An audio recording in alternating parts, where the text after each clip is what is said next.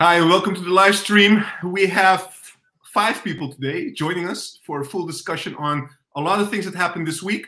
Um, the special ones, Marc, welcome to the channel. Welcome to the show, man. It's been a long time actually having you. Um, Yellan, welcome. And of course, EyeJax and Papimento, welcome, guys.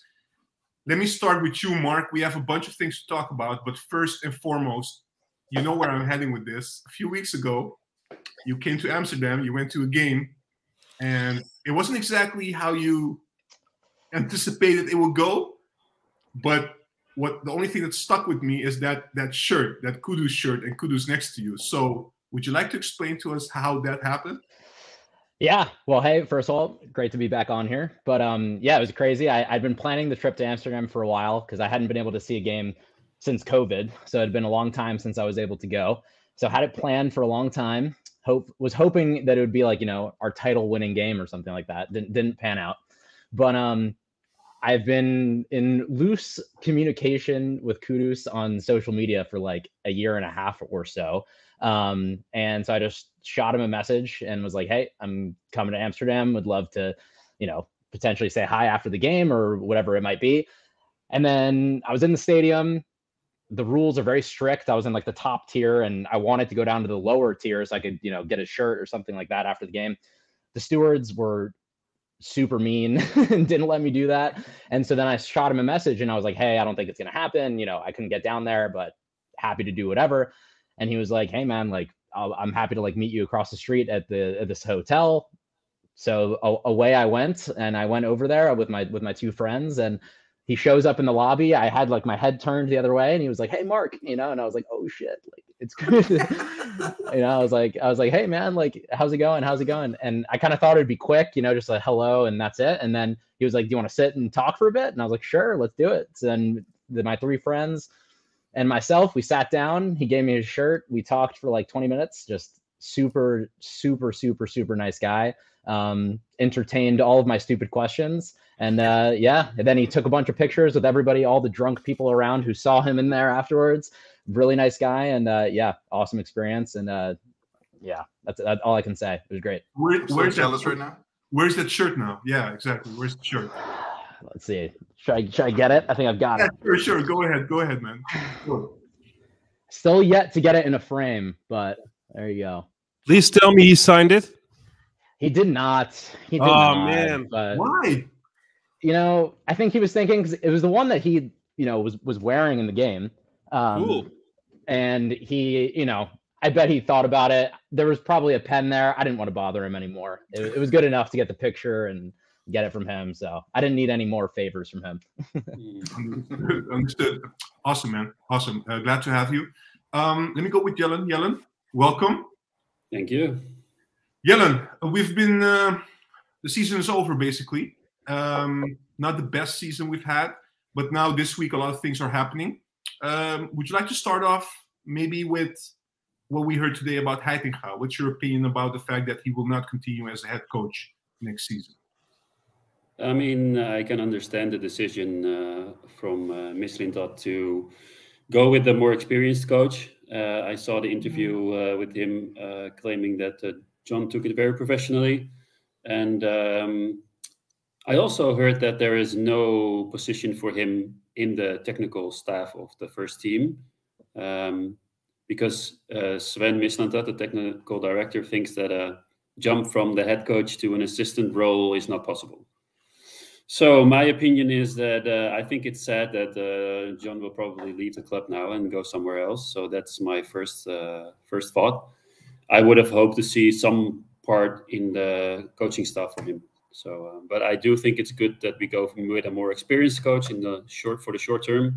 I wouldn't have been terribly upset if he would have stayed. So, as head coach, you mean? Yeah. Really? Okay. All right. Yeah. I'll, I'll, I'll ask you about this in a bit. Um, going to EyeJax. EyeJax, look, when you come on the channel and we do the game talks and we do the live stream, you know, I always I always listen to what you say, right? I listen to everybody, but when you talk, I listen extra carefully, you know? So uh, you said after the Twente game, like, look, taking everything into account from the moment that Heitinga started until now, to be very honest with you, I think now it's almost 80% that we will not continue with him. Um, so basically, you're right. Um, after the news came in, your thoughts, and do you agree also with what Yellan said? Are you on the same page? Thanks to referring to that part also, uh, because I got bantered uh, hardly like like four or five weeks uh, by the guys. So thank you for that. Yeah, it was just pure logic, you know. Uh, if they would continue with him, no harm in, in announcing it earlier. Could have even given a boost to the team and to the coach. So uh, it's no surprise for me that he's going. Sad to see him go because I think it's uh, a love for the club that made him jump in front of the group and he had to salvage whatever he can uh, could and uh, inherited a lot of bad things from Schreuder, also the way the squad was. So um, nothing but good words for Johnny, but I think it's a sensible decision. Um, come again with the question, please, because I lost it. no, no, I'm just no, you're you're expressing how you feel about it. Yeah. Also, do yeah. you agree with Yellan? Would you would you have been okay if it was not like he will not continue as head coach, but no. it was the other way around?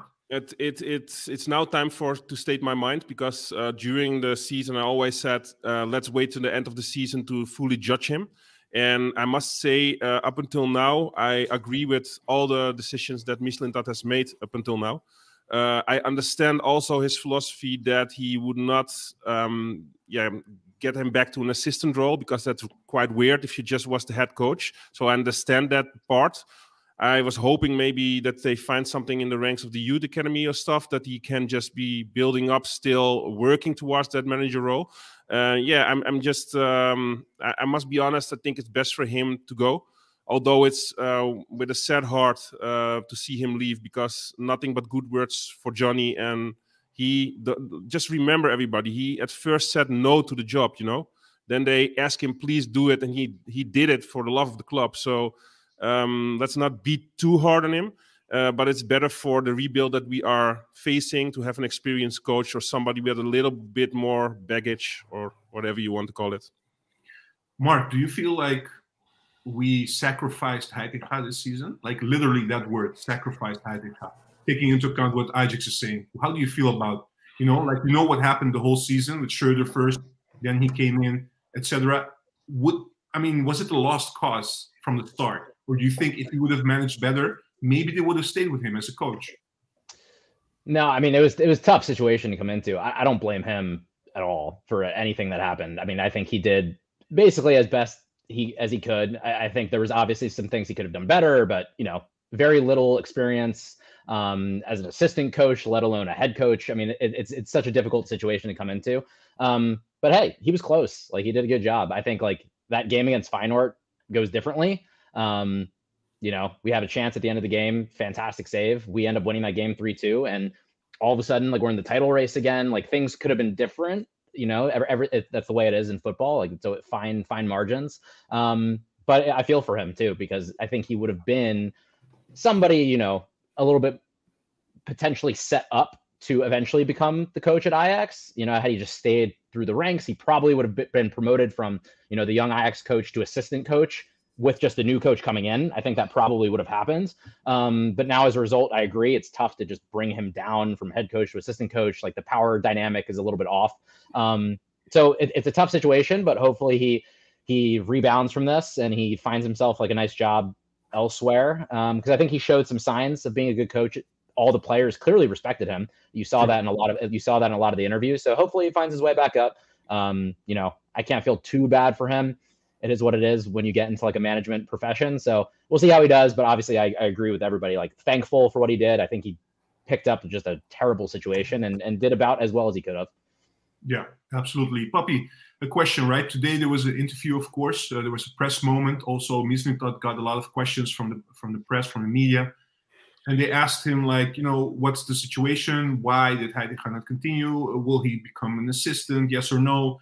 And he said some interesting things. You know, he said like, uh, no, we're unlikely that he will be an assistant because we want a new coach to come in, and it's better if he installs or he picks his own staff. Uh, but also, it doesn't work in a high performance environment. He said, you know, to have somebody already as an assistant and then you get another coach to work with him. You know, you need to give the coach freedom. But then he said, um, we are looking if we can get another role or you know keep him involved at Ajax. But realistically, we know that Heitinga has ambitions as a coach. So if he doesn't stick around, do we have anything we can give him at Ajax, or make it does it make more sense for him to go somewhere else, maybe coach an Eredivisie team? How do you feel about that? Yeah, I mean, Juan, I, I already told you, I, I, thought, you know, him as being the manager for Ajax this season, I thought it was coming too soon for him. I think he lacks experience. And um, I, you, as a beginning coach, you should never be handed the reins over an Ajax team um, like that. So for me, it's good that he might go. He has now on his resume, he was head coach of Ajax.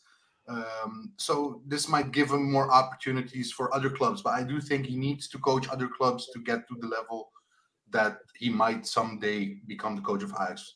But he's not ready yet at this moment. Um, as Marc said, very bad situation he he came into. Um, no transfer window for him. He didn't pick his own players. He he introduced youth players to the team.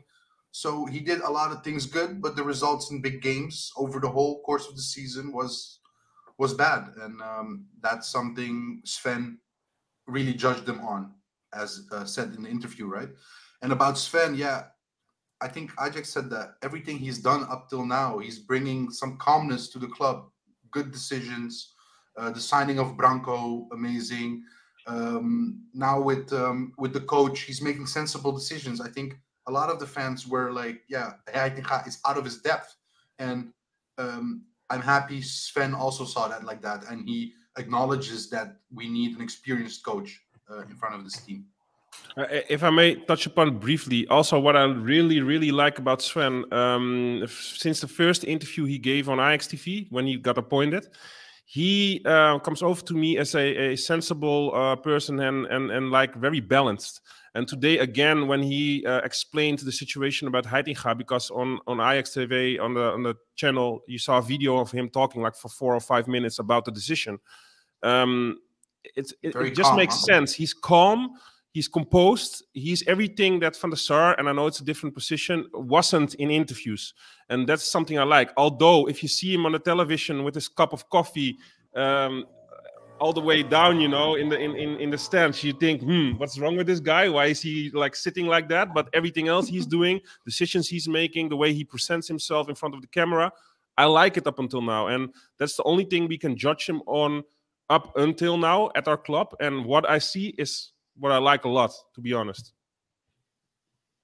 Yeah, absolutely. Um, look, I, I'm, I'm also going over the comments from our viewers. Thank you for that. If you guys have questions as well, for any of the panels, let us know. Send them over. I will ask them as well. Um, Yellan, I want to ask you something. Uh, looking back, right, because we're talking a lot about Heitinga and we touched upon Sven. But in general, if we look at the at the team and the squad, um, looking back now, um, was it really, you know, if you have to pick something that didn't work out, uh, could Heitinga has, have done better with this squad? Is this squad that unbalanced, that not clicking with each other? that any coach you put there previous season, whether mm-hmm. it's in the middle of the season or the start of the season, the outcome would have been more or less the same. Maybe a couple of points more, these kind of things, but in general, this is the only squeeze we could get out of the squad. What's your opinion? Um, good question. Uh, I do think that um, given the way that Ajax uh, is playing, so their playing style, this was the maximum that could be uh, drawn from this squad he made a couple of big decisions to to bench a 20 million um, plus signing in Bassey and getting Alvarez to the back line. And so he made he made some changes which, which I think was for the better. However, this squad was uh, I wouldn't necessarily say unbalanced, but really out of form, and they didn't believe in their own abilities this season. And I think that is the blame of Schreuder at the beginning of the season. There were so many frictions and so many uh, insecurities, and they didn't know what to do within the system that they've been playing for years. So I don't know what wrong what went wrong there. The only coach or trainer I would say would have made a difference in a in the small run is maybe a Van Gaal for a six month period, and then he would have uh, played a similar system to the Netherlands uh, the national team, like a more defensive system, and we've seen him do it with far mediocre squads and getting third and, and second place or fourth place um, at the World Championship. So maybe that would have landed us a couple of more points, but then we would have sacrificed our playing style and our basically our dignity. Yeah. Um, So that is the only scenario in which I would have seen them clinching second or a couple of more points. Yeah, Marc, I want to go with you. Yeah, I want to go with you as well on what Yellan is saying, right? I mean, you've you've not been on the channel for I think a year, so almost a year. So at the start of the season, I don't know about you, but at the start of the season when we just started, the transfer window was just closed. I was rather positive, to be honest. I'm not going to lie. You know, now we can look back and say, well, this and that. But at the start, I was like, this is a pretty. I mean, we have decent players, you know. I mean, name wise, et cetera, et cetera. So I was a bit bit shocked after a few months how things went. And I was even more shocked when I read this week your tweet saying that Edson Alvarez has been outstanding this season. Okay, I'm I'm maybe exaggerating a little bit, but you know what I mean. Because coming from you, everybody knows you're you're somebody who likes technical players. You know these kind of players. You you always talk highly about those type of players. So Alvarez being complimented in your tweet is something I never imagined I could see. So does this maybe exemplify basically the season we had? If Are you are you eyeing his shirt next, uh, Marc? Is that what you're doing? Like like And, uh, it's There's going to be it's all- blood on it, so exactly. Yeah, it's, it's all it's all it's all just a ploy for me. I just I just tweet who I want to meet. Um, but yeah, it was it was a weird weird season. Weird season. Weird season. And I know that um I think as a result, I think that's why Alvarez sh- you know really shone through a lot this season because you know we had to do a lot of defending when I don't think we were fully expecting to have to do so. And a lot of our technical players let us down I think in multiple points during the season. So as a result you know the person who kind of shines brightest there is the person who does the basics very very well which is what Alvarez does defends very very well um, and is very committed because I think at a lot of points during the season I think quite naturally but a lot of the players you could just tell dropped their own levels of intensity and sort of checked out a little bit. I think you saw that at points with like Bergwijn during the season, you know, when he started getting benched and things like that. Like the intensity wasn't there. Luckily from Alvarez, that's never in doubt. And I think that that is something that shouldn't go, you know, under the radar. I think it's I think it's incredibly important, and you and I think we saw that in particular with Lisandro Martinez leaving. Like his general intensity and the way that he plays was so valuable, and it really had a you know sort of a, a, a radiating influence on Timber. I think, which was a big reason that he struggled this season. Um, so yeah, nothing nothing but positive things to say about Alvarez this season. Again, I think we can improve upon him, um, but it'll be tough because I think he's grown a lot. He's gotten more confident. He's gotten better on the ball. You know, he had that pass just a couple weeks ago, the second to last game of the season, um, that little chipped pass over to Kudus when he missed the one v one. But like, those are some passes in his locker that he just didn't have at the, at the beginning when he came. So it's, it's a testament to everything that he's done. Um, and yeah, it's gonna be it's gonna be tough to to to replace him. But I kind of like in a way that talking about the unbalanced squad that Yellan was mentioning before, and you know where the pieces kind of fit in and things like that. I don't mind that Alvarez and even though I love him to death, that Kudus is probably going to leave. I think as well. I think we kind of need a little bit of like a hard reset. Let's figure out what the new coach wants. Let's figure out what the new sporting director wants. Because right now, we have good pieces. I, I think we do have good talent generally, but it's tough to know like where they all fit in. It's like, are we playing Tadic through the middle? Are we playing Tadic through the left? Are we playing Bergwijn through the left? Are we playing him through the middle? Do we play Rensch on the right? Do we play him as part of a center back? Do we play Timber as like a inverted fullback like a Ben White or something like that? Or do we play him as a center back? Like, I just think there's so many moving pieces right now. Same with Bassey, left back, center back, so many different things that I think it's good to get rid of a couple players, have a new coach come in, have him imprint his style with Mislintat as well, and we kind of go from there. Yeah, absolutely. You're touching upon basically what we're saying today. Our topic is fresh start. So, talking about fresh start, we have a question from uh, Mass Place 42. Will Branco van den Boomen, so that's our first signing basically. Uh, we heard about it over the weekend, a couple of days ago.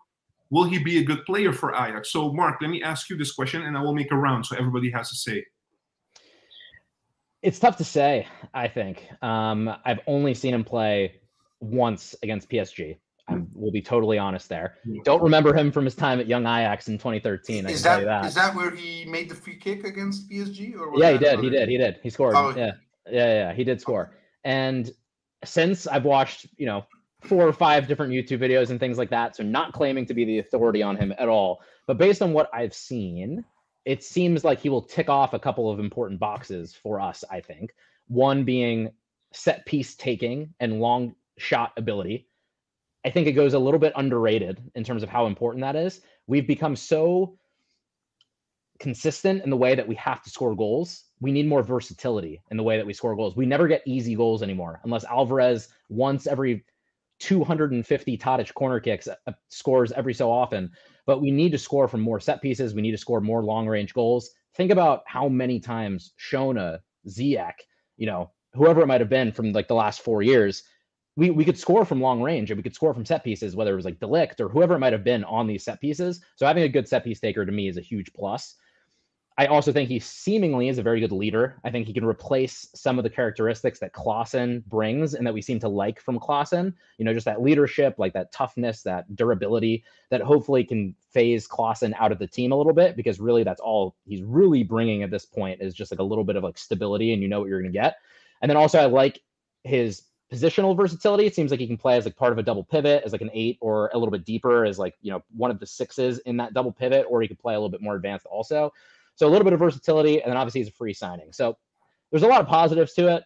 It's hard to know how exactly he's going to fit in because we don't know how we're going to play. You know, I like if, if we if we get a manager that wants really tidy technical center mids, I don't know if he's perfect for that. But that depending on what it is, let's let's see. Yeah, but t- talking the final thing you said just there, a lot of people are questioning why would you get a player before you get a coach, or do they already know who the coach is? And there was a communication already about this, and that's why they signed Branco. I would hope so. I would hope so, but you never know. You're, you're I, hinting I towards Bosz, right? no, no, no, no, no. I'm not hinting towards anyone. I'm just make. I'm trying to make sense out of it. It would be weird if you sign a player, you already know you're not going to continue with Heitinga because people can also say maybe Heitinga said he was part of the process going into the summer. He said that in interviews. But Juan, you know? it could also it could also be that this is an opportunity that you will not get soon this is a player that might not be your best player in the team, but he definitely has some skill set that will make your team better. Uh, he looked like a leader actually at Toulouse. If I look at the dressing room speeches he gives and, and things like that, he looks like uh, he has a decent head on his shoulders. Um, and his passing is actually phenomenal. Not only short passes, but his long range passes, vision, uh, mo- you know, passing forward constantly. He's really looking constantly for that pass. So I'm not an expert on it. That's all from comps, but I'm just saying that he could be very useful for a midfield, an Ajax midfield. So yeah, um, but you're just honestly, let's be honest. Let's let's let's throw everything on the table now. You're just saying this mm-hmm. because you agree with Marc. You want Klaassen to be phased out of the team. Mm-hmm. Oh, definitely, but that doesn't have to do with Branco. oh, but, but, but it's a sensible it's a sensible decision if you ask me because uh, he has been at our club. He knows the identity of the club, and he um, did it the hard way. You know, I believe he went to the Ligue deux um, Ligue deux I believe the second league of yes. uh, of France. He became champions with uh, with Toulouse there. They now finished in 13th position. Uh, they won the cup, uh, if I'm correct. Um, uh, he had like eight uh, assist contributions in the league, five goals. That's not bad for a midfielder. And I saw some compilations also on YouTube because it got me interested. You know, um, yeah, he has a great pass. He has vision and he can uh, do progressive passing. And that is something that we lack at the moment because with our defense in the current state that it is, we lack ball, um, comfortable ball players. If you play a Bassey, if you play a Sanchez, etc., it's not the same as we had last season with Mazraoui, with uh, uh, Martinez, and with Tagliafico, for example, or Blind on that left back position. So you have to have strong midfielders that can carry the load if you do not have it in the back. Ideally, you have it on each position, but especially if you lack it in the defense, you have to have comfortable ball playing midfielders in, in, in the midfield. And he can do that. And let's not forget, a free transfer can work out very well for us. Remember a Lasse Schöne when he came from NEC? Everybody said, "What? What is he going to do at Ajax?" Yeah. And yeah, he's a legend now. So, yeah. I never expect, honestly. I mean, the, I think the signing that surprised me the most ever is Schöne. I never expected him to be that important for Ajax. And and, and also the, the, comeback kid he was, you know, how many times as a fan did, did we write him off at the beginning of the season? Not Each only every us. season. Not only us, also the coaches. The coach yeah. didn't know yeah. the coach didn't know what to do with them. Multiple coaches didn't know what to do with him. I mean, it was not until I think it was Bosz. I mean, because Schöne told him I can also play as a pivot, and he he actually gave him a shot, and then it started clicking that year. He even admitted about when Schöne went to the sixth role, that's where things started clicking uh, for Ajax. That's it's also a highly intelligent player because if you look at his physique, the way he plays, he lacks the speed, he lacks the body. He's just so intelligent the way that he moves the ball, who, how he positions himself, that he could be a decent pivot for us. Because if you look at all of his qualities and the way he's built separately, he doesn't have a lot of ingredients to be a great pivot, but he did it. And yeah. that says something about your football IQ, I believe. Uh, I, yeah, intelligence also. Very intelligent player. Um, I also wanted to say about Franco uh, that Branco. I've seen him giving passes Branco. in that. Not Franco. Sorry. Who's Franco, man? Branco, sorry. I also seen him giving passes, uh, Juan, that I haven't seen Taylor or Berghuis give the entire season. And and that that's why I think he, he could work at Ajax because he, he's that good giving those long balls. Uh, I've seen Kuru so many times trying to make a run, but he doesn't get the ball, for instance. He's the kind of guy probably, that can bring that ball. Probably, pro- sorry, cheap shot. Probably because he's offside. Probably offside. Funny. well, I'm just joking here. I'm just. Uh, but se- seriously, also, yeah. I don't know if you guys watched the introduction video on Ajax TV, but I liked what he said. You know, he said, "Okay, I did it the the long way. Went to the Keukenkampioen division. Eventually, went to the Ligue 2.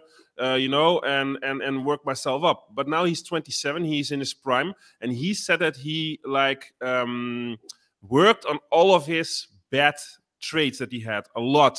and he, he, yeah he had to and and and um, he improved in that area and he said my passing and and uh, yeah, finding free players and progressing the play was always my strongest trait. But my weaker traits went up far, you know, compared to the past. He also just became a dad. He is more stable now at a certain age. So we might get a totally different player than somebody uh, of some of the fans may remember from the past because he's now 27. It's your peak, as especially as a, as a guy, you know, 27 is your prime year uh, hmm. body wise, but also maybe uh, with his uh, uh, you know experience now. So I think he might be a very very good signing for us. I just got this feeling.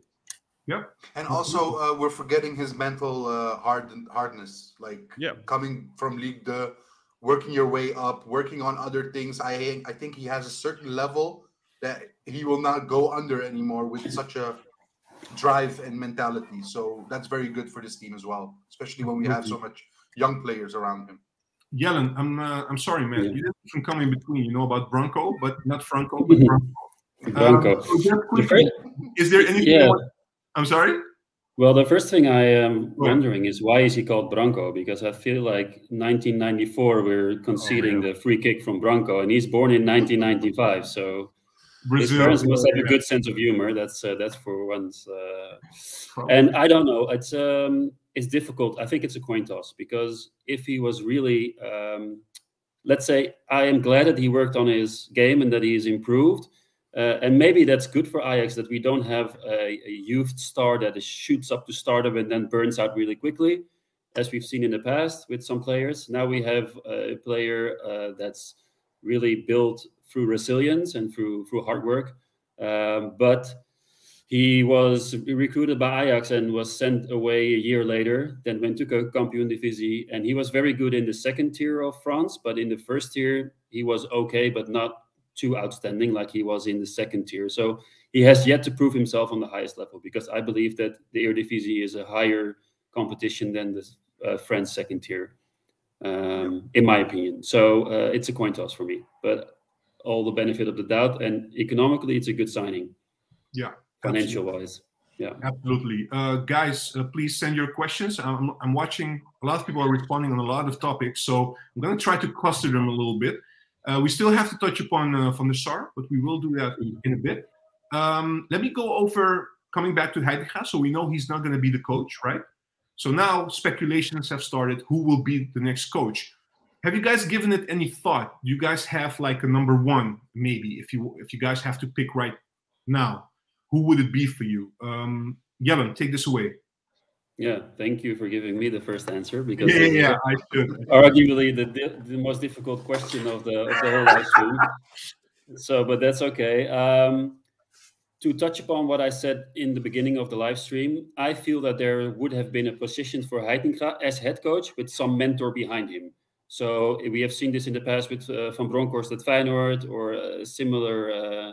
Well, Van and Fred didn't work out too well, but it's a similar uh, similar thing. So I would have thought that that would be a possibility, maybe with a Van or something. So he could be like the face of the squad, but have a mentor to groom him into uh, the position and a manager uh, that he can be. So uh, he wouldn't have been sent away from the club, and we would have had an excellent manager for years to come. But that is not happening, as we know now. So if I would have have a favorite, it would be someone who know that knows the Ajax culture. I know there's talk about the um, Norwegian trainer Knutsen, Knutsen yeah. from uh, Bodo Glimt. Sorry if there are any Norwegian uh, viewers if I butcher this. Um, but my um, my thing with that is that he doesn't uh, know the Ajax culture, and it would take some time to get him up to speed. Perfect, perfect that you're saying that because we have a question mm. uh, about this. Maybe you can answer this as well. So, um, mm-hmm. from Javi, thank you for this. Why in the Netherlands, most of the people think that I should have a Dutch Ajax backgrounded coach, bold coach also, but okay, fine. I doesn't have any coach who's more than Keizer, Reiziger, Reiziger Heitinga, but foreign. It is it is a valid question. A lot of foreign people or fans from abroad do raise this question. Why do we always want most of the time we always give it to a Dutch coach? Yeah. What's your opinion? And you're saying basically the same. I want somebody who's mm-hmm. familiar with the Ajax system. So the pro- what you say to yeah. That? Of course, yeah. The problem is that winning at Ajax is not enough. We need to do it in a certain style or fashion that is appealing to the fans and appealing to the to the crowd in the in the stadium and stuff like that. So to understand that way of playing and to always have the ball and to be good in possession, those are pretty generic things that a trainer can can learn. But the Ajax philosophy, that how we play with the wingers and stuff like that, that is something that is typical for Ajax.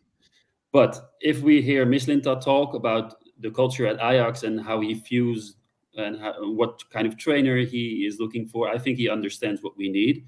So if that is really um, a profile that he can find elsewhere, uh, I'm also okay with that. But usually you find these things in people that are, have a background at Ajax.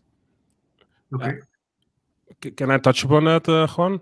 Because I, I actually disagree a bit with um, what, what to say. I understand where you're coming from. I understand the argumentation behind it.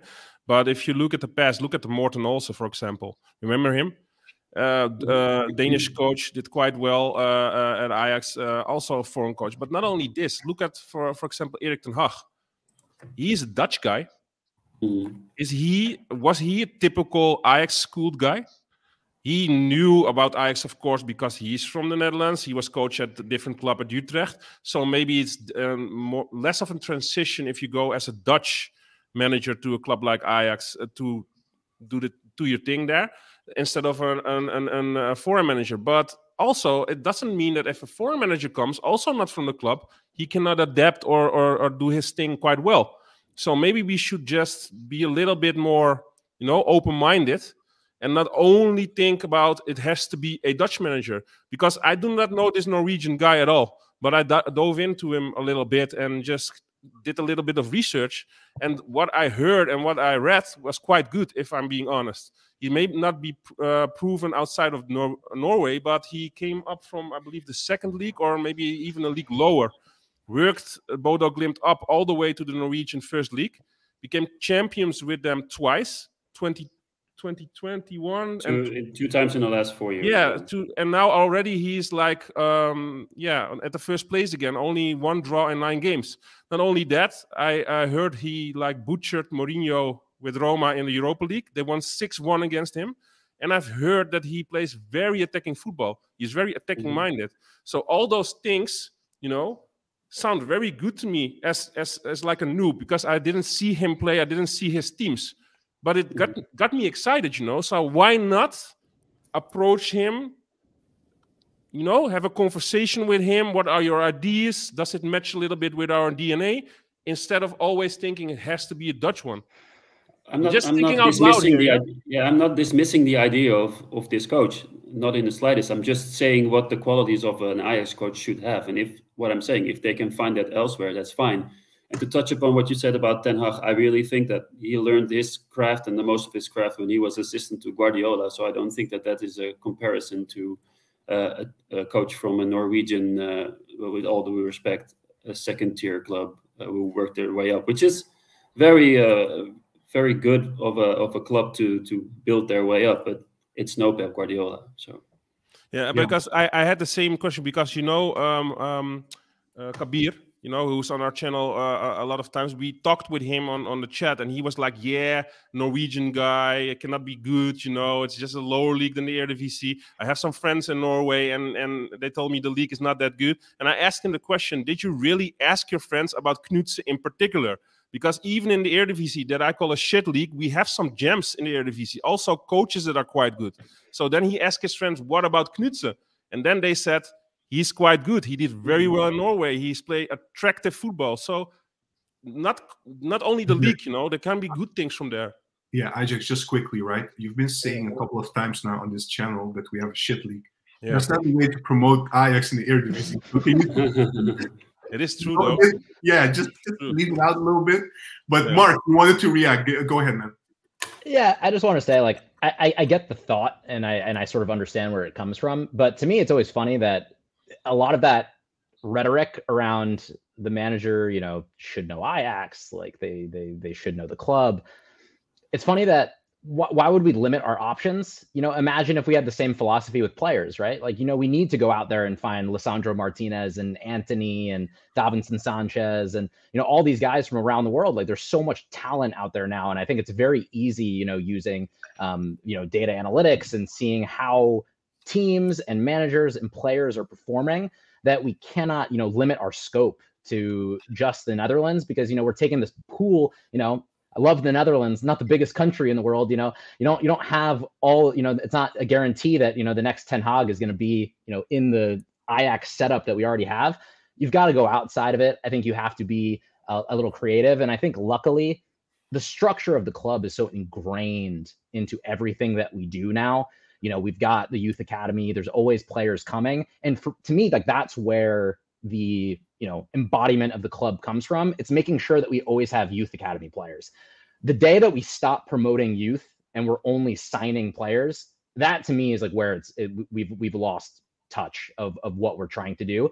The manager who's in charge of it as long as they're playing like good football they're trying to keep the ball it's trying to be you know fun and, and, and exciting to watch and they're winning games, that I, I don't care as much about. It's, you know, as long as we're getting some academy players through, it's exciting and fun to watch. Use the scope um, of, of the, the, the talent pool that's out there of managers and, and do the best that we can do. Okay, so I have two but questions. You've touched upon two two things that haven't hasn't happened this year. Sorry. Okay, go ahead. Like go attractive ahead. football hasn't happened this year, and more or less the promotion of good youth players, maybe with the exception of Hato in the last part of the, the season. Other than yeah. that, we have not seen any good youth yeah, players. but but but besides... and and and it's funny because we didn't get we didn't get either of those two things with yeah. two coaches who you know True. would kind of fit that mold of you know knowing the club exactly and, and things like exactly that. Exactly what you're saying, Mark. That's what I wanted to touch upon. If you dive a little bit deeper into the the last decades and and and mention a few coaches that had the Ajax DNA, I'm talking about a Marco van Basten, a Jan Wouters, a Danny Blind. Uh, which, who, who do you had more? Keizer coming up from uh, uh, the young Ajax squad, so already in the Ajax uh, households, you know. Uh, same same with some other managers that were there. Even Frank de Boer that did well as an Ajax product. Not everybody is as happy about him uh, as he was. I was. Um, uh, with with the uh, material he had, but it isn't a, an isn't an ingredient for success if you're just coming from the Ajax, you know, academy. It isn't. I understand. Okay, so I wanted to react maybe to Mark, but also maybe to you guys. Uh, Mark, you can answer this, but I also want Papimento to uh, to give his opinion about this, what he thinks about this whole discussion, and maybe the viewers also can uh, react to this. So, as you know, I have to be the devil's advocate. I have to come with some other arguments, which I will. I agree with you when you say like, why should we limit our scope, right? So I totally, totally understand that. There are two things that I'm questioning if you get like a foreign coach. First of all, is when you talk about youth academy, the system or the game that he wants to play, it has to be as close as possible to the Ajax way because the the youth is always playing a certain way because the end of the station, like coming to the station at the end, is the first team. That's always the intention. So you cannot have a coach come in from abroad and do something else because then young Ajax from young Ajax to Ajax one will be completely different, you know, and that will make the transition harder in theory. The second thing I would say is communication. If you don't communicate, I mean, I know we have international players and these kind of things, and most of the times with international we play um, talk English, but the youth players and stuff like that, they're most of them are Dutch. Most of them, you know, they want to communicate in Dutch. They want to understand in Dutch. They've been trained, most of them, also the Dutch way. So those will be the only two arguments. Like, how would that go? You know, if you have a head coach, how would the transition go from youth to that specific uh, Ajax one team? Mark? Yeah. Yes, I'll be really quick, and then I'll, I'll turn it over. So I think for the the youth academy stuff, I don't think it's that big of a deal in my opinion, because I think from you know the U9s up until basically like the U18s, as long as you're playing some kind of attacking football, you're trying to be on the ball, etc., you're building the technique that you need to play at a high level like Ajax. And I think it's very easy then to implement the style that the main coach of Ajax is running with young Ajax. I don't think it's very difficult to to quickly yeah, get that going. The tactical, the tactical will come later. That's what you're saying. Yeah, I don't think it's too difficult. I think we saw that with Ten Hag. It happened really quickly he was there for basically less than six months, and young Ajax all of a sudden was playing exactly like the top team was. So I don't think it's too difficult to get that going really quickly. And then okay. secondly, on the on the communication, all I, all I would point to there is look at Roberto De Zerbi at at Brighton. He's giving his team talks in Italian with a translator, and look how quickly they picked it up. You know, I, I just think it's it's a, it's a universal game these days. And and look, Every, I love going to the Netherlands because everybody speaks English. The airport signs exactly. English. It's, it's Especially younger people have perfect English. My nephew, yeah. 14 years old, speaks perfect English, so that's not non-issue. All right, it's not it's not always like us, you know, like the old guys speaking a little bit mm more English. Hey, but, speak for yourself. Except, uh, no, no, no, no, you're not that old. Uh, so no, but, I'm talking but about my Mark English. said, you know, the English language, everybody speaks it. So where's the problem? And also, if you're like a highly valued, valued youth product, you can be implemented in different styles. Quality always survive, uh, suffices. That doesn't matter. Okay. Okay, Papi, um, your view on uh, this whole topic on the next coach.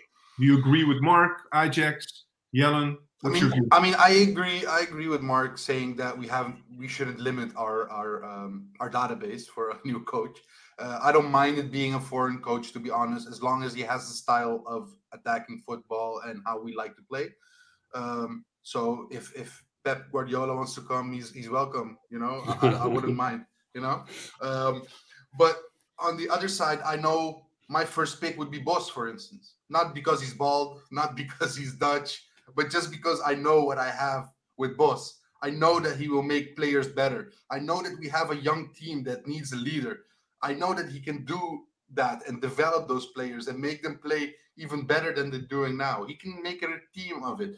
Even with Ziyech, we we showed it. He played them when we in the season that we got to the Europa League final and we got second.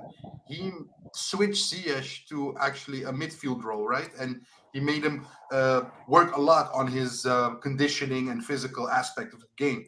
So I just know what I have with Bosz. I, I know that in one season he can do a lot of good things with this team. And I'm not familiar with Knutsen. I'm not familiar with Yul. Yul sorry. Uh, the dev, yeah, exactly. Coach. Yeah. I'm, I'm not so familiar with them that it gives me like I, I hear all these things. Yeah, they're doing very good and etc. But I also hear they have different styles of managing. Um, uh, will that work with Ajax? You don't know. Um, is is the Norwegian league is that the standard? Is that a high enough league to compare to a Dutch league, for instance? Is that sufficient experience? So for me, I know what I have with Bosz. I don't know what I have with the other two, and that's why my pick is Bosz. Yeah, but I think I think also uh, it was touched upon already. If you look at his, at his European results, he made quite an impression. Um, so it's not only Norway, which he did very well, but also in like the Roma uh, example, for instance. But yeah. also he did pretty well, you know, on, on the European stage. So um, yeah, I, it's still a risk, right? I mean, it's still a risk in general. I got uh, I got tagged on Twitter just before the live stream, and I'm, it's not on, on, an official site or anything yet, but just want to touch upon it. Like mm -hmm. Bosz, uh, like Papimento said, What's that? Sorry, it's my doorbell. Whose door is that? Doorbell, Sorry, I thought my time, my, my speaking time was up for today. But Oh, who ordered pizza? Who ordered pizza? no, but um, with bosz, I got tagged. You know, uh, uh, apparently his the uh, demands that he had um, for the position were too hefty. Uh, he asked for a totally um, to restructure the total structure of the bench. You know, all the assistants he wanted to choose himself, his whole staff. He asked for a certainty that he would have a uh, transfer budget of a certain amount. And Sven and Susan, according to that message, uh, thought that was too much, and that's why they're moving on. So if that's true, I don't believe that. yeah, mate. I just Totally I'm just putting it out there. I'm not saying it's the truth or it's on an official channel yet, but uh, according to that source, um, that But could be Ajax part of the situation. Looking at what Sven said, that Heitinga will not be part as an assistant coach of the staff, etc. It could be that it would be Bosz with his entire staff. He would bring it, but about having um, a transfer sum already set up for you to spend, I don't think that Ajax works that way, though. Apparently, Yeah. Look, uh, guys, um, two more things we have to touch upon, which I want to touch upon, but we have to go, a bit quicker now. Uh, the first thing we have to touch upon is Van Sar. Um, yesterday we heard he stepped down, he resigned. Um, just a brief round, uh, everybody's reaction to that, uh, what do you guys feel about that? It means also now until the 1st of August, they're going to look for, some- for another CEO. There was a question from one of our viewers also. Um, so let's okay, let's go with the you know like the discussion we had. We have Sven, foreign director of football. Maybe we appoint a foreign coach. So who should be the CEO in that case? But first, let us touch upon uh, Van der Sar, and maybe if you guys have some idea who the CEO should be, let me know as well. Uh, Papi, let me go with you first. Uh, look, uh, from the 11 years Van der Sar was with us, I think we had phenomenal seasons with him. I think he did, you know, in the beginning, a lot of things well. Um, but so I am sad that we lost a legend like that in the way we did. Not a winning season, but everything went to shit, and that's the reason he left. So that that hurts me. It's a legend. Uh, it shouldn't go this way but I must also say that in the last two seasons, he really uh, did made a lot of terrible decisions. I mean, um, and and one of the arguments has always been communication has been bad uh, with coaches, players, in, internally, people not knowing what to do, etc. I think that's uh, you know, as a leader, that should be on you. Uh, the players that came in, his responsibility. Uh, if sporting director is not your job or you have, don't have the experience don't take that responsibility um, and you know with the whole schreuder situation he could have fired schreuder before the whole uh, world cup given heitinga more time. Now uh, we lost uh, a lot of ajax legends um, because of a lot of terrible decisions. I mean we lost bogarde uh, because schreuder was coming in. We, we lost heitinga because he was thrown uh, in front of a group that he had to manage. Um, so yeah, in, in two seasons he, he did a lot of damage just because he thought he could take over the role from Overmars. Um, and he it's his responsibility to assign a new sporting director, and he didn't. So that's all on him. Um, so thank you for the nine years. That was excellent. But the moment problems started to happen and our sporting director left, he couldn't right the ship anymore. And that's on him. And um, yeah, so logical logical decision for him to leave as well. Okay, Jan, your your point of view on this one? Yeah, I agree. I think that um, once Overmars left, the one part of the tandem was was gone, and I feel like he was a little lost and um, try to overreach his uh, capabilities and his responsibilities. Uh, therefore, making um, how do you say it in Dutch? Is that uh, when you when you are in the in the corner, you make weird decisions. I don't know the exact uh, uh, phrase how you say it, but uh. Yeah, when you yeah, all right. something something with a cat, right? yeah, when a cat is in uh, in the, in the corner, he makes weird jumps, and uh, I've seen him on his bike, so nobody wants to see him jump. Uh, But in all seriousness, uh, I think that um, he overstayed his. um I feel like that with uh, with with these kind of positions, there's always like a expiration date, and he was past his expiration date. So it would be good to have a fresh face there. part of the rebuild. Mark, I want to ask you the same about Van Sar, but I also want to ask you, you know, because again, we have the whole discussion today is about the fresh start. Is this fresh start what we need, really, or is it too much change at once? What's happening right now? Because if you compare to two seasons ago, everything's changed. Like one season ago, everything has changed. Like our coach, our director of football, the uh, the board, uh, everything is changing in one year. Is this good thing or is it maybe a little bit too fast what's happening right now? Well first with with Van der Sar, I, I, think when look you're probably doing your job as a ceo of a, fo- of a, of a football club if no one ever hears from you.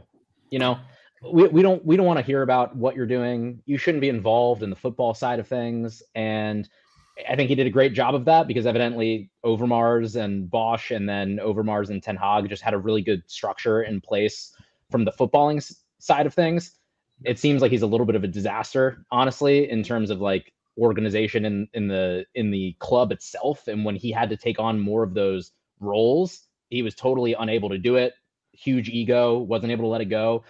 So it seems like he probably wasn't great this whole time, but we just didn't really know anything about it because Overmars and the coachings, the coaches that we had were able to overcome it entirely on the on the football side of things. So, you know, hey, he's a legend nothing, I guess, to criticize for seven years until Overmars left, when which that whole situation was handled terribly to begin with. Um, but hey, he's moved he's moved on now. I think it was a good decision because clearly he showed he's relatively inept from a from a footballing side of things. So let's move past it. And I think from a from a fresh start standpoint, it's a good time for him to go. Let's get clean house, get a whole new sporting director in, get a whole new coach in. Let's figure this thing out because that's kind of how football goes now these days. Things go in cycles, and unless you're Pep Guardiola, it's hard to, to keep things going um, consistently. I thought we were coming on a, a, a, year, you know, maybe 10 years of dominance with Ten Hag and Tadic, and everything seemed to be clicking perfectly, but it's not how it goes these days, right? Things can things can totally get upended really, really quickly. So um, I think it's fine. I think it happens at multiple clubs, and clubs figure it out really quickly. Um, you saw it at Barcelona. They cleaned house and they brought in Laporta back and they got Xavi back in, and all of a sudden they've sort of figured things out again. Obviously, they have a lot more money to play with than than we do, although maybe not. do they have money? Maybe, yeah, yeah, maybe, maybe, maybe, maybe, maybe, maybe. But I think it's fine. I think it's okay, and I think it's a good time to to do it. And um, I, I think the only inhibitor to the full rebuild is going to be some of the players that are still here. And I, I love Tadic to death, but we will touch upon that in a bit. That's my second point. We'll touch Please don't go there because Ajax yeah. will rip it. Yeah, I just want to yeah, rip you a new one. yeah, for, for the ones that just Ajax also give your opinion about the Van der Sar thing, and also um, when there was an interview with Eringa, of course, the, the chairman, and he said like we wanted Van der Sar to stay. So the impression that they gave us is that Van der Sar made the decision to to to quit on his own, and they were sad about it. They wanted him actually to stay in this in this current role. So what's your view on that? Let me quickly get that last one out of the way because I think this is just how it goes in certain companies. And like, uh, um, if you work somewhere, you have a certain track record, you're a legend, you have a certain reputation. And um, in front of the public, you say, Yeah, we want to keep him on and to say that he's going, but you're just giving the person out, you know, to keep the honor to himself and just resign. This is what my feeling says. I do not have the argumentation because we will never know that unless you're in the ranks of Ajax. But this is just a typical thing that happens a lot of the times. And for me, it's the same situation if I'm being honest. But I do not know. I do not know for sure. Of course, nobody does. Uh, it, maybe Pier himself does, of course, but not we. Uh, about um, about Van der Sar. Let me be just quick on on the situation. He's a legend of our club. I love what he did as a football player um, you're just, you know, your team is as strong as your weakest link. And when Ten Hag and Overmars left due to different reasons, uh, his, you know, deficiencies surfaced. So he should have been strong enough to know what his weak points are and his strong points, and just told the people in charge and, and himself also, I'm not going to do this kind of workload in this area like what Overmars did because it's not my cup of tea if you decide to go for it or you just do it, it's the same with Heitinga now. He did it in love for the club, but he's also getting uh, the bill at the end of the season, you know? Same with Van der Sar. And it's the same with everybody that has a job. You're just as good as your last year, you know? So you can be sentimental, whatever you want. You know, he did good stuff in, in the past. Yes, he did. but he made huge mistakes in the last year. Some maybe because of an ego situation, some maybe because he overestimated himself. I do not know. Some maybe just unlucky because it, it was havoc within the ranks. But you're the CEO, you're responsible. So I'm glad he's gone. That does not say anything about what my feelings feelings are towards him as a player or what he did in combination with when the team was strong.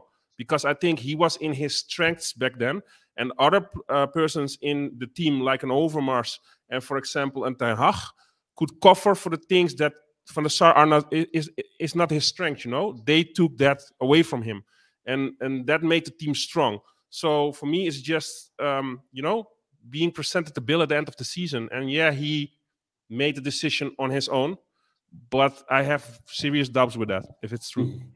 You know, the only thing I would say, you know, uh, apart from everything, um, I totally agree. You know, I think I think he took the right decision. I think also the pressure he was not going to win the battle anymore of the perception of fans and everybody that had uh, towards him. But one thing I would say though is it's a bit strange now because he's responsible for assigning Sven. Basically, he had a say about Van Halst being in the board, and now he's leaving. So, you know, I just hope that the people that come in are still the ones that can work with the people that, that were appointed. That we don't get these, you know, like dynamics anymore. That maybe this doesn't click with that, or etc. etc. So that's the only thing I hope. Um, the last part of this video, and I also want the viewers um, to share their opinion about this or maybe ask questions. The squad, right? I mean, Mark is here. Mark loves talking about players and the squad, and Yellan is here as well. So the fresh start. You mentioned already, Mark. Let me go with you first. You already uh, touched upon it. You love Kudus to death. Um, you know, you I think you like Timber as well. Edson, you complimented this week. Um, you should pin that tweet, by the way, so people can find it right away.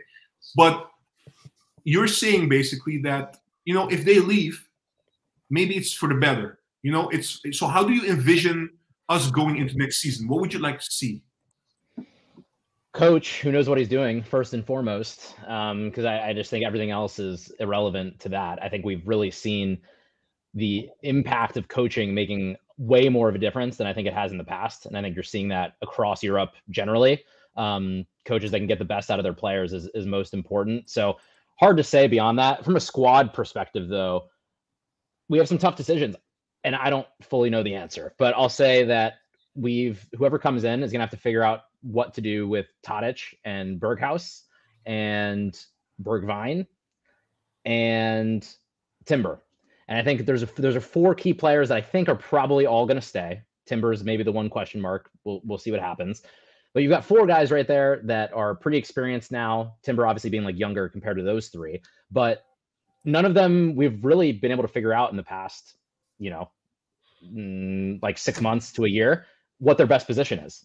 And we need to, in theory, we're in built, we're building around them, but no one really knows like where they should be playing. So at some point, we've got to figure out stop putting players outside of positions where they're most comfortable and figure it out because all this moving around of Bergwijn to the 10, to the left, to the striker, to the right, Tadic to the right, striker to the left. It's just getting too much. I think we've got to figure out, you know, what works best for our team and make some make some important decisions. And then hopefully, in my opinion, in the transfer window, sign a lot of young, high upside potential players that can get us back to where we want to be. I think enough of I was a proponent of it at the time. I think it was maybe incorrect, but guys like Bergwijn, it's it, it just isn't, I think, fully in the spirit of of what Ajax should be of these these big money signings for more established players because you kind of raise the floor a little bit, but we know what their ceiling is, and we know that Bergwijn is not a top ten player in the world. I would rather try and sign the players that can get us there. Your Frenkie De of the world, your Antonys of the world, your Lisandro Martinez's of the world, wherever they may come from. I think we have to get back to that, and I think if we do that, we'll you know hopefully unearth some really quality players, and then you know things fall in line from there. But it, it's a hard it's a hard question with the squad. Yeah, it's a tough. I guess when you're question. referring to that those type of players, everybody saw the Güler pass just just yesterday, I think. So those kind of players, those gems, you know. But mm, yeah, but we have to be on time, you know. That's the thing. I think now maybe he's already too expensive for it, but we'll see. That's possible. But, but, yeah, last point, and then I'll I'll shut up. No, no, go ahead, go ahead. oh man, oh. um, it's it's it's that that really is always what I try and drive home the point to be with Ajax is like from a player perspective, we can only do as well as we think we can if we get on these guys early. We've got to get on them early and we've got to be creative. You've got to be Brighton like and do what we've done in the past. I mean, plucking Antony from like a couple of appearances from Sao Paulo, Lisandro Martinez from like a you know relatively unknown Argent Argentine club. It's not exactly River or Boca where you came from. You got to be creative because there's, there's too many there's too many smart teams out there now that get ahead of these things even before we do. And with the amount of money with Newcastle and you know all these teams that come into it, if we want to compete and get back there, you've got to be smart. You got to be proactive, and hopefully that's what Miss Mislintat does. And you know, then we'll see. Coach first, and then try and get some high upside players. Maybe start fading out, phasing out guys like Tadic and Klaassen a little bit, um, and see what we can do over the next you know three to five years. Yeah, thank you, man. Um, Yellan, before I go to you, uh, just quickly, you mentioned all of the ones in the generation players, but still, those the, one, those the ones you got to go for, man. You got to hope for them. Yeah. So uh, just a quick uh, hi to Sahbi for joining. Most important thing um, is to have a coach ASAP. Secondly, build a squad to start the preseason with a full squad. Let's go. All right. Uh, thanks, Sahbi. Uh, Yellan, your your point of view, your reaction. Uh, what do you think we should do? What would make you happy? Let me put it this way: on August thirty first, what would make you happy? Yeah, I think a, couple of good points uh, Marc is uh, saying about uh, the Ajax philosophy in uh, finding young players that can be uh, built up to even better players and let's say uh, the golden boy rankings like Matthijs de Ligt and Frenkie de Jong. so that's a good point. preferably from our own youth squad, but um, that hasn't been the case since those two players, De Ligt and, and de Jong. So I do believe I just was reading a, a message from Mislintat, and he's saying that he's eyeing eight, no less than eight um, transfers, and of those eight, three have to be um, like carrying players, like uh, like first team players. Um, I think to uh, consider the leaving of uh, or the departure of um, Alvarez, and I do believe Kudus as well, um, and. I believe Timber as well. So um, with that said, I do believe that we have to have adequate um, adequate new players to fill in those positions, uh, which is going to be hard because we have been um, beaten by other clubs with talents in the past year. Like I heard th talks about a Brazilian talent who went to I think Newcastle. I'm not quite sure, but I think Premier League. I don't know for sure, but we have been been more and more uh, beaten by other clubs. Um, talking yeah. quickly, talking about Newcastle, I was talking to PapiMento not so long ago about Isak, who's playing now for mm. Newcastle. He was yeah. here a few years ago playing at Willem II, being loaned out from Dortmund, and he he already honestly, I'm not saying that in retrospect, he already was pretty good playing at Willem II, and I was like, hey, I should really look at this guy but then he went to France uh, or no Spain, right? Spain, yeah. Transfer? Oh no, he went to Real. Sociedad. Yeah, yeah, exactly. Sociedad, yeah. So yeah, and he was he was basically in our backyard, right? So yeah. yeah.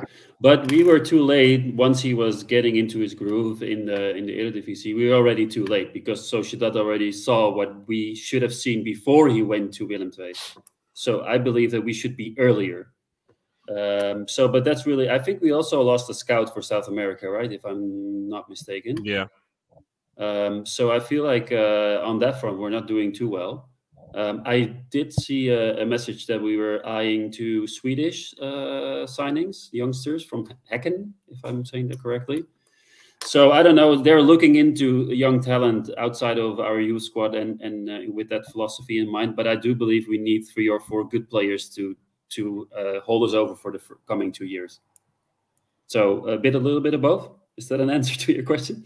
Yeah, but just just on top of that, and also taking into account what Marc said, um, so we have those experienced players, right? So we should eyeing now the youngers, the young talents, the generational talents, basically in the mm. summer, or should we add also because we know that Alvarez, Timber, Kudus are leaving? Should we add yeah. also experience?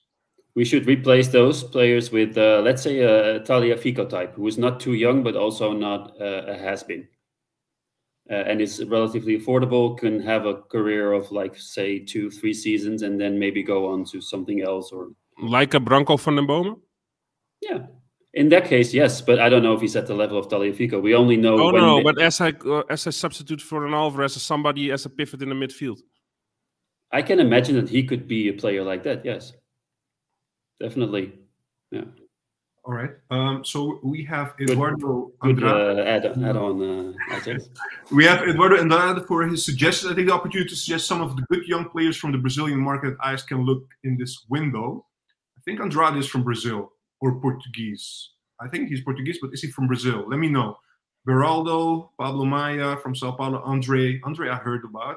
So- Andre, Andre, I've heard also, a lot. I I've heard also a lot heard about. of a Tete or something from Brazil. No, Also a young player, I no. think. We should we, we, we should be getting the uh, Redondo's son to play holding midfield. Mm. He's he's he's come about recently. Seen a lot So of videos of him. saying- I mean, it's all now basically missing out stories coming out. You know, like But also like a like a Conceição could be really good. I I I think he's a really good player actually. That fits for me fits the mode of a of a player we should be looking at. Maybe not at the level of Antony, but certainly good enough to be growing into something better. My Yeah. opinion. I mean, honestly, the Conceição thing was sensible also from the perspective that he had a clause, five million. We can take him. Uh, the upside is huge, so it's worth a shot, right? This is something we should do more often. Like Now we need a coach to have who has the cojones to actually play him more because I no told you this sense in beginning of the season that he should play more. Yeah. So listen, guys. Um, John W is saying Papi's so quiet in this chat. So Papi, go ahead, man.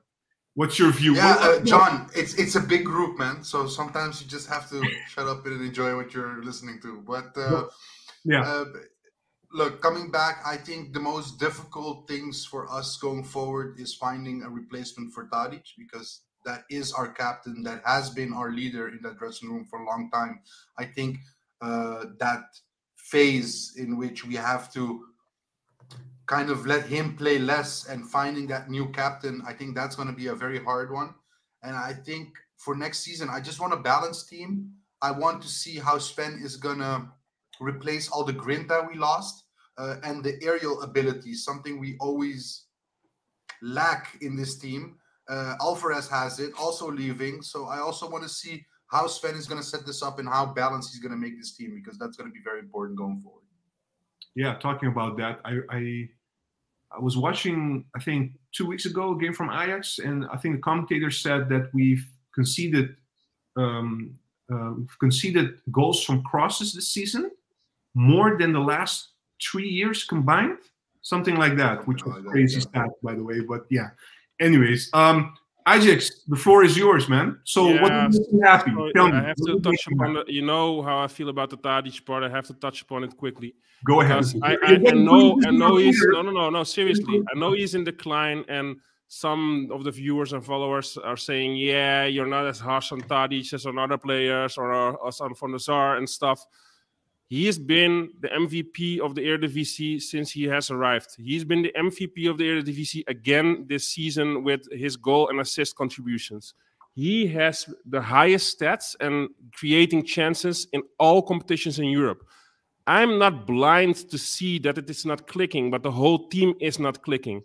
So for me, people saying that Tadic should be like uh, already benched or stuff, I just don't agree with it because That's there is so much fundamentally we're wrong. Well, hold on, hold on, hold on.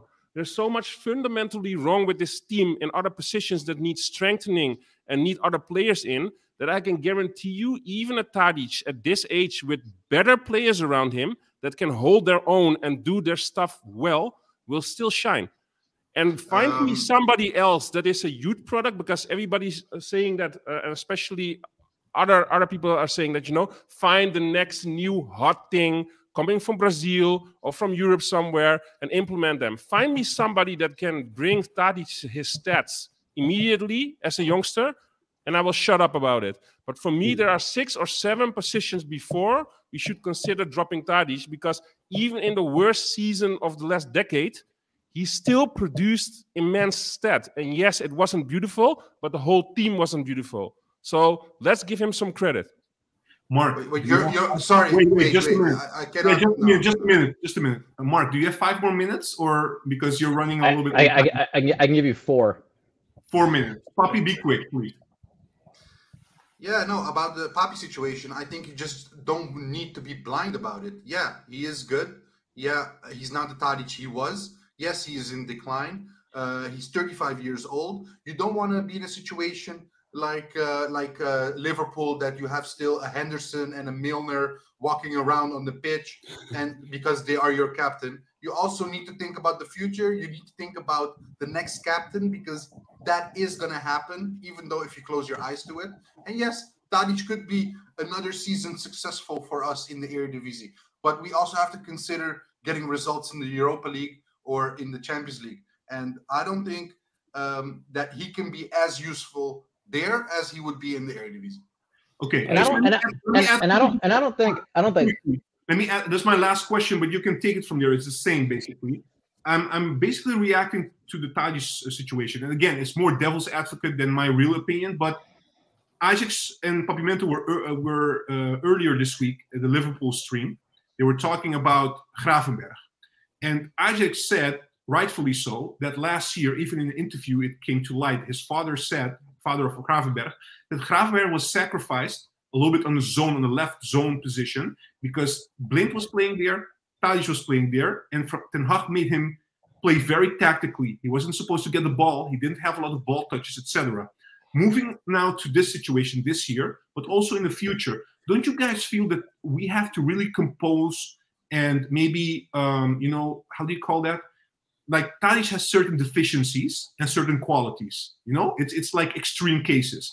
And if you want to fit him in a team and you want to play against in Europe or something like that, or against good opponents, you have to tactically start asking other players to do more or do less to make Tadic stand out.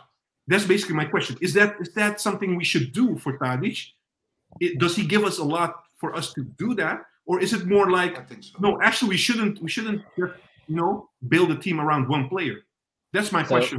So, so this will be my, my last thing before I, I drop. Uh, Sure. I don't think that, I don't think the thing like I, I actually agree with with EyeJax. I, I think Tadic shouldn't be blamed for most of the stuff that, that's going on. He still performed really well, and I think you still see in moments like the quality is immense, immense quality. I think my only thing with Tadic is we need to be a little bit more forward looking at this point. We're not like a perfect team anymore. Like we're not competing for Champions Leagues and things like that. So like, you know, we have to have a little bit more of a forward looking mentality and approach here. So he shouldn't be starting 50 games a season. He he's got to be starting 30 to 35 and you pick and choose the moments where you really need him to turn on because as much as he's one of the most in shape, you know, veteran players you'll see around. He takes such good care of himself and I think he's capable clearly of playing all these games. He doesn't get hurt, things like that. Such a good professional and everything, but you can tell I think that the games start to add up and he sometimes has these games. He had probably 10 or 15 over the course of the season when he was particularly playing on the left, where you're just like, he doesn't have it. He couldn't beat players 1v1. He was too slow, probably a little bit tired.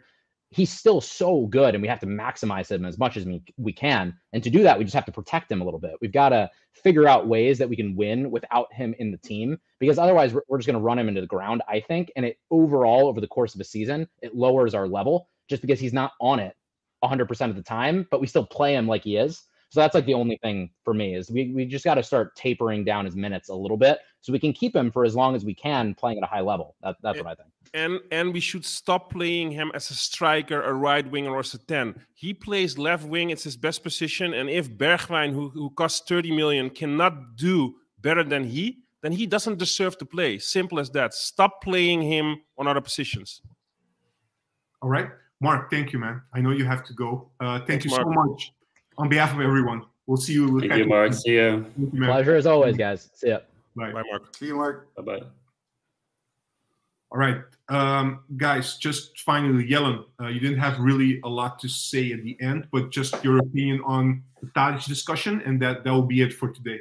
So tell me. Yeah, sure. Um, it's hard to disagree with the numbers he's putting up. So that's uh, that's an easy, um, also an easy reason to keep him in the squad because I do believe that um, the level that we have in the Netherlands is not like a good statistical measurement for um, other competitions in Europe where you're comparing him to. So let's say he does this in the in in the Spanish First League or in the Premier League or whatever, he wouldn't be able to do that. So that's a I think it's a non-discussion if we are com comparing apples and oranges.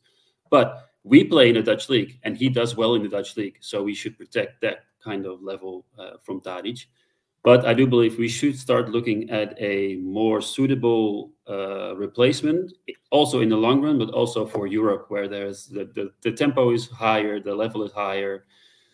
So, but it's going to be difficult to. Uh, maybe we should groom someone in his quote unquote shadow. Uh, I'm all, I'm, I'm, all for that. I'm all for grooming somebody, getting someone in who can be his replacement. Maybe yeah. like 50%, like 60 minutes for Tadic in the beginning, then 30 minutes for this guy. I'm all yeah. for that, but just do not say already like bench him and we need a totally fresh We're not saying that, but we're saying that the level is dropped with with Tadic, and we're also saying that we're looking at the stats of Tadic, but we're not looking at how many shots, how many uh, crosses, how many passes did he try to get those assists? Those but ratios. I'm, I'm, I'm really agreeing with you. Really I'm agreeing with you on the eye test. I'm agreeing with you on the eye test, but the stats speak in his favor. Course, he, he, he, he, you cannot disagree with that. And as long as nobody's there that can put off those stats, you cannot judge so easily on him. Uh, okay, let me I put something out there. The whole, yeah. Yeah, yeah go, go ahead, ahead, go ahead. So. Yeah, go ahead, go ahead. No, I just wanted to say how many yeah. free kicks did Tadic take? How many penalties did Tadic take? I mean, these are these are also his things that he took the entire season. It doesn't yeah, but, matter if he takes a hundred shots as long as his stats are like this. One one can say a lot, but if he has the stat that he creates the most chances of all competitions in Europe, then you no, can say something. Not... Then you can say something about his teammates also. If they would a little bit be a little bit more sharp in front oh, of the goal, course. he would have thirty assists. But that's not a comparison. I, I think Tadic. Sorry. No, no, no. I think Tadic should benefit a lot from a target man, for instance. He doesn't have. He can cross the ball a lot. He doesn't need to get in the box a lot. That would I blame, I blame, I blame the coaches also. I blame the coaches also. They have been shuffling the team since the beginning, especially Schreuder. Then Kudus as a, uh, a striker. Then Brobbey again. Then Tadic gets uh, gets uh, put as a striker in the last game, the last 45 minutes, and Brobbey is out again. Tadic mm. played on the right wing in the beginning. Tadic has been a 10. Just play him on his primary position. If, if Bergwijn isn't better, he just has to prove it, just like anybody right. else. All right, guys, I think we, have come to the end of the stream because we can continue to talk about a lot of things. We're getting so mm. many questions also and uh, and suggestions, and we really appreciate it. Um, just quickly, Sahbi is saying something that also Marc touched upon, which is a good point. The problem is we don't know whether Tadic would accept being benched more often. He's a proud person um, and always want to play. So the new coach will have a difficult choice to make. That's a valid point. That's really a valid point. So that's a good point. And uh, just on Roy, Roy has been uh, uh, telling me set up a stream with me and Per Juan, Per from uh, Twitter. So Per is somebody that always has amazing posts and threads on players to look out for or coaches. Really nice Twitter account. If you guys are on Twitter, check him out. Um, it's time to start to talk about how to build a new squad. That will be an interesting stream, to be honest. Um, I'll think about it, Roy. I'll think about it. Just promise, just promise me you will be positive if you be positive on the channel, maybe I'll do it. Um, yeah, I think that's it, guys. Thank you so much for joining the stream, guys. Really, thank you so much for voicing your opinion. We'll be back next week. We will continue doing the streams, although it's off season. That's what we do. Um, and look out for part three of the Sven Mislintat. We already published two episodes. One when he was at Dortmund, one when he was at Arsenal, and the third one will be when he was director of football at Stuttgart. Uh, I hope you guys enjoyed the channel. I hope you guys enjoyed the stream. And please, guys, give us a like, subscribe, and we'll see you next time. Bye, guys.